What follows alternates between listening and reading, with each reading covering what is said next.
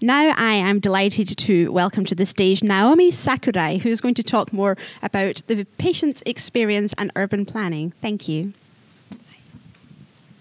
えー、はじめまして、えー、桜井と申します。あのー ちょっと私の話をする時には多分私の出自というかバックグラウンドを少し説明しないとわからないかなというふうには思ってます。ちなみにこれ、えっと、表紙のこのバックグラウンドで使っているのはこれはあの田園都市構想ですね。イギリスのまちづくりの根源になる、えー、都市のシティプランニングになります、えっと、私は、えー、2004年にがんを経験しました、まあ、そこで自分の仕事をですね、えー、それ以前の仕事から変えざるを得なくなったんですね。それでまあ今患者会の支援活動というがんの患者さんたちがどうやって社会の中で活動できるかというところを今一生懸命やっています。ただベースになっているのはやはり、えー、自分自身はこの、えー、都市計画の畑にいましたのでまちづくりというような視点をですねはいあの考えております。よいしょと。こっちか。こっちをするんですね。はい。で、えっと、何をやってたかというとですねまずあの私がやってたのは都市計画といっても、えー、いわゆるまちづくりではなくてです、ね、環境都市計画っていうのをやってたんです。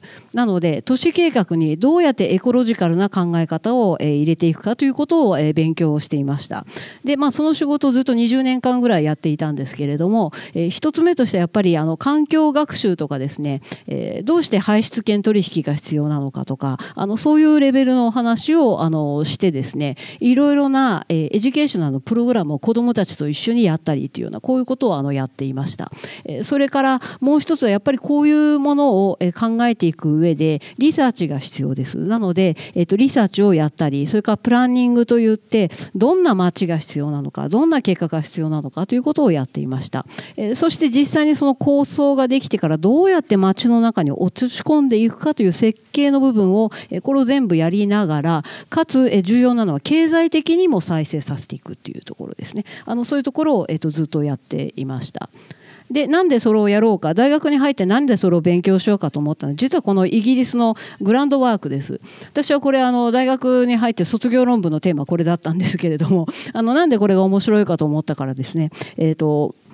イギリスはあの炭鉱がありますで、えこの炭鉱でものすごく環境破壊が起きたんですね。でこれと同時に、えー、脱産業化重工業化という話があって、え、要は町が廃れていったんです。でとっても過疎化というか人が減っていくそれから残ってる人たちは病気の人たちが残るわけでじゃあどうしようかというところから都市に仕事を行くための道が欲しいというところがですねネイチャートレイルを作ったんですそれをみんなで作ったんです。自分たちの手で作ってきました。そうしたら何が起きたかっていうところですね。はい何が起きたかって1980年トラストというものをイギリスは作ってどんどんやっていきます。市民が参加します。地元の企業が参加します。まあ、そしてやっていったことで、まずは、えー、とこの環境問題があったり、都市の衰退とか、えー、健康問題でこういうものがあったんで、こう住民と企業が参加していくことで、まず環境がきれいになっていた。それからそこに住んでいる人たちが自分の街、マイホームタウンという意識を持っていくことで、えー、どんどんどんどん環境が改善されていく。それから、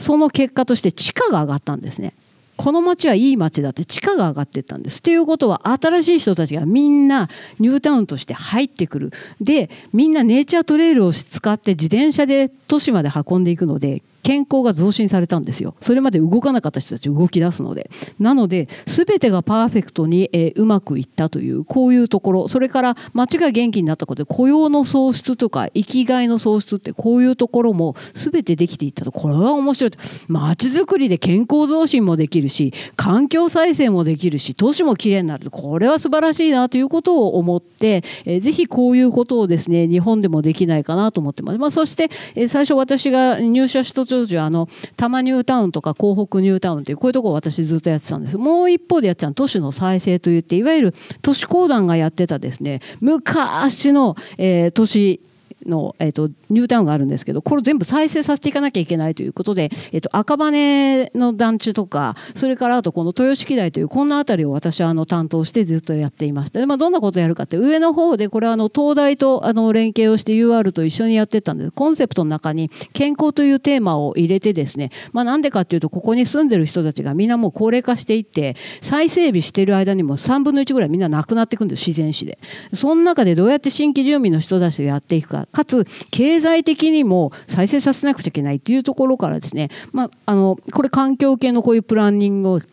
したりとか、えー、とそれからこういうふうな街づくりでどこにじゃあシティの真ん中持っていくかとかですね、えー、じゃあその中でどんなコンセプトを置いてどうやって法律の課題を解いていくかというこんなことをあのずっとやっていました、まあ、最終的にこういう街ですね。こういうことをやってました。はい、であの、えー、もうギリギリになってきた。これあの今回のがん対策の方の計画なんですけど何を今回入れ込んだかっていうとそういう実験をですねがん対策の中でちょっとできないかなという言葉を無理くりこれ押し入れました。なので今後6年間の中、えー、日本でもこんなことができないかなということを今野望としてあの思っております。ただどうなるかなというところですね。あの都市は非常にダイナミックであの環境というものがあって環境も元気になる人も元気になるそして経済も豊かになるというところは非常に重要なのかなと思ってますので箱の中で考えるんじゃなくてもっと動体的に考えていけたらいいなということをあの私の夢としております。はい以上になります。ありがとうございます。